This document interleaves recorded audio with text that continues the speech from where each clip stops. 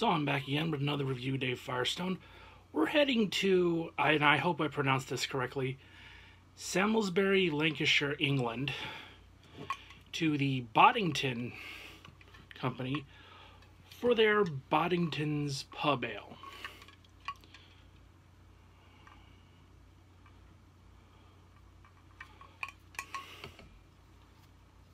And yes, I do have the window open because this studio does get hot.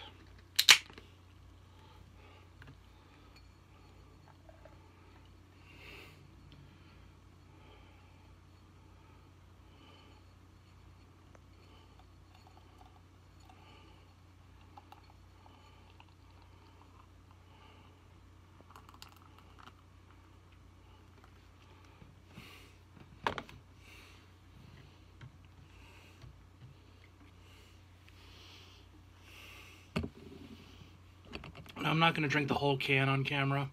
I'm doing uh, nine other reviews tonight.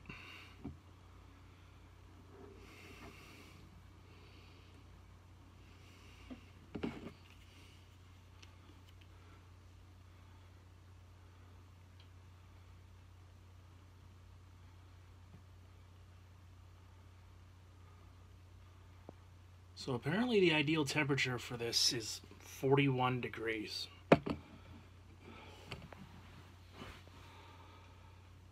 Okay.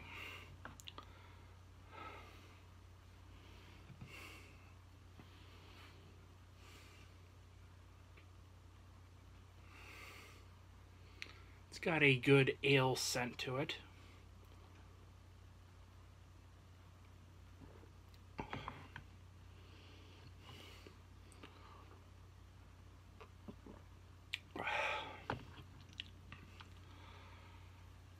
It's really, really smooth. It's got a good overall flavor, but there's a um, an aftertaste that hits you as soon as you're done.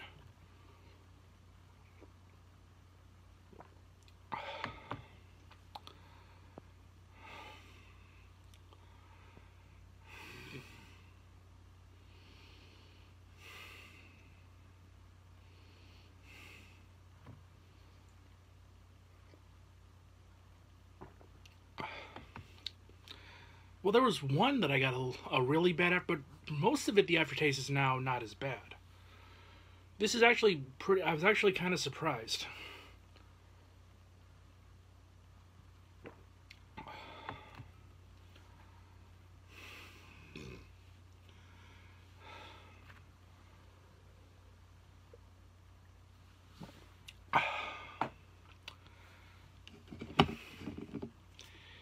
So,